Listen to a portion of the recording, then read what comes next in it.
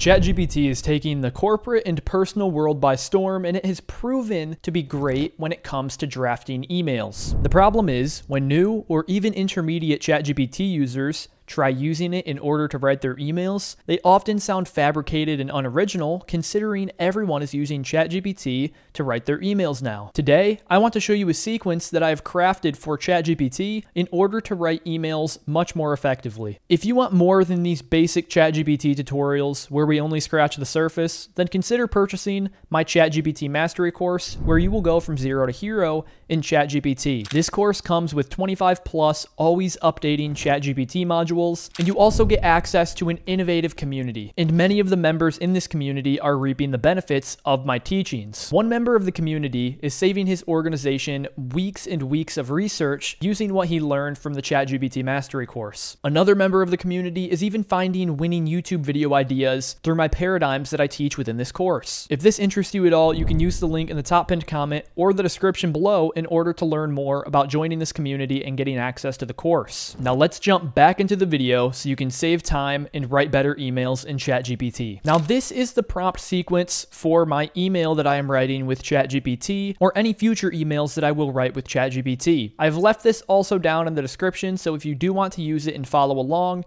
you can copy and paste this into your ChatGPT. Now, this email consists of a lot of advanced prompting techniques, but you don't really need to worry about that right now. If you want to learn more in depth, you can get the course or watch some of the other ChatGPT tutorials on my channel. Now, this email will help you do two things write new emails or respond to existing emails. And I've made it in such a way that you can pick and choose what verbiage you want to use in order for it to make sense when drafting this email. First, it's important that we start this email in this long sequence with a system function. Act as an email writing guru. Now, I do have an in depth tutorial on system functions. If you want to watch that, you can in the upper right hand corner. And after the system function, we jump right into the goal of the prompt. Help me write slash respond to this email to slash from my person title name. So this might seem very confusing right now, but when you break it down and I jump into it, it won't seem as bad. So after we have our goal, we can keep going down. Next, we view this input email slash mission. So this is where you are either going to paste your existing email that you want to respond to or write the mission for the email that you're trying to write. When you scroll down,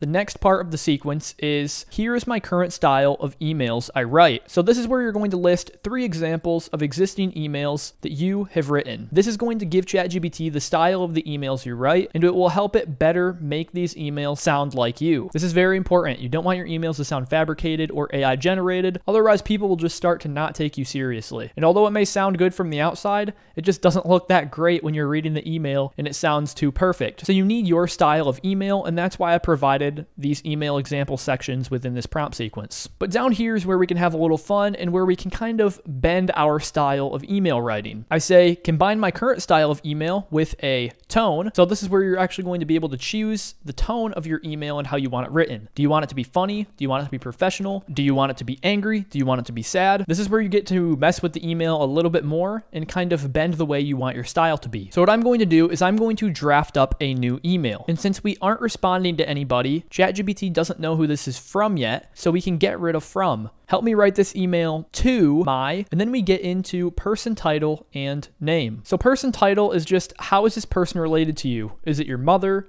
Is it your business partner? Is it your brother? Is it your uncle?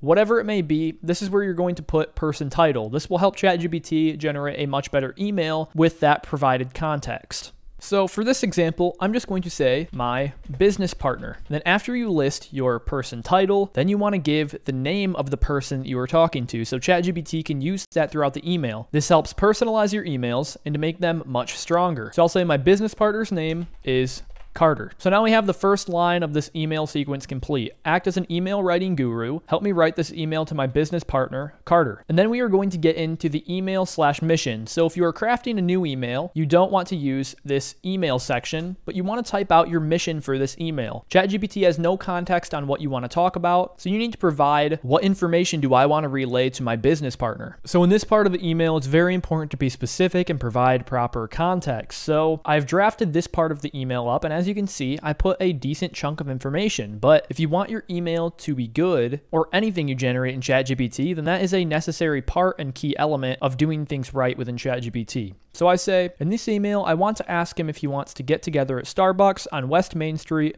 in order to discuss Q2 financials and analytics for our YouTube channel. Also, I want to mention that I am proud of his hard work in creating thumbnails and managing sponsorships. I want him to feel good about what he is doing as an incentive to keep working hard, so draft that part of the email accordingly. Also, mention in this email that the coffee is on me. As you can see, I have goals and overhead views of what I want the email to be, but I just can't draft up a good email. So ChatGPT is going to be able to put all of this together and really draw out those feelings and help me write an effective message to my business partner. So I provided a lot of context. I've provided important details where I want to meet. So this is the mission section of the crafted email sequence. When I scroll down, now we are getting into the style of the current emails I write. We don't want these emails to sound fabricated. We want it to sound like it's actually coming from myself. So that's exactly what I'm going to do. As I'm going to go find past emails that I've sent to clients and sponsorships, emails, whatever it may be, and I'm going to write down three examples of current emails that I've written. What I've done is I've surfed through my emails and I've formatted this in a way that ChatGPT can better understand it. As you can see, I put email 1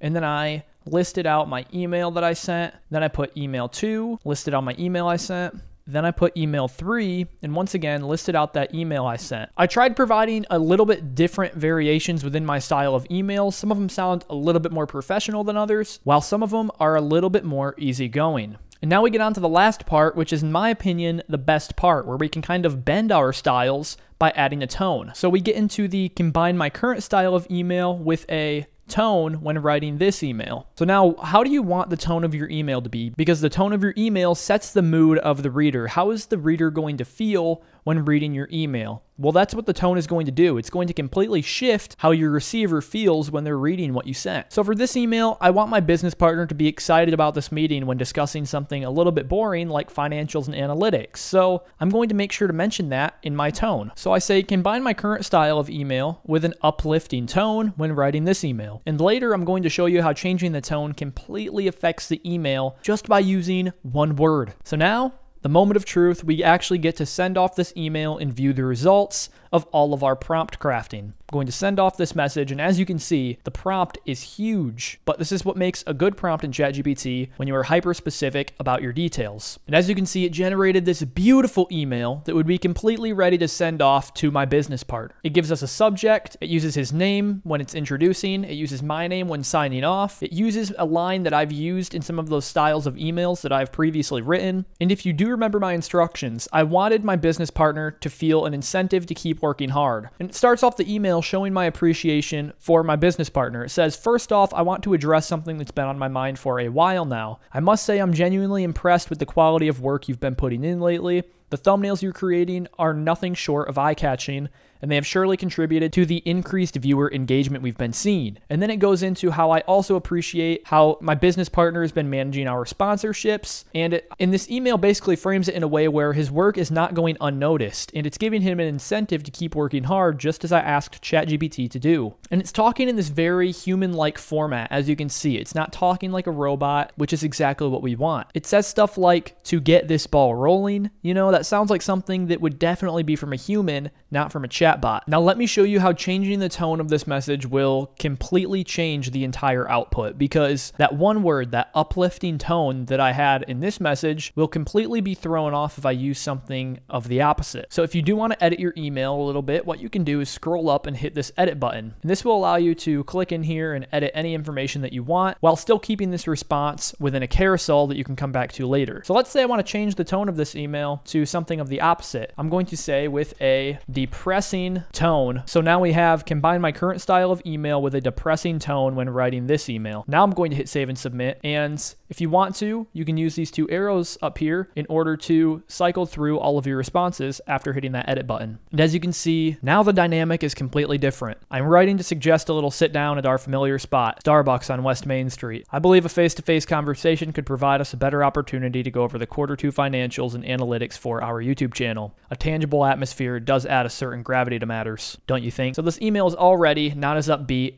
it's sad, it's depressing, and and it's still trying to make him feel good throughout this email as I mentioned in the instructions above the tone, but the whole framework of this email, there's no exclamation points, there's no excitement. It's all business and I sound like a sad tortured business owner. Then for the signing off line, it says, take care and hang in there. You know, it's just kind of depressing. It's like, do I really want to go over these quarter two financials? So this has been how to write effective emails within ChatGPT. If you want to go a bit deeper, then consider purchasing my course and joining the community with ChatGPT innovators using the link in the description or the top pinned comment. Members are loving it and they're already applying it to their work and personal life, so I highly suggest that you do too. If you enjoyed this video, please drop a like and subscribe to the channel. With that being said, I'll see you in the next video.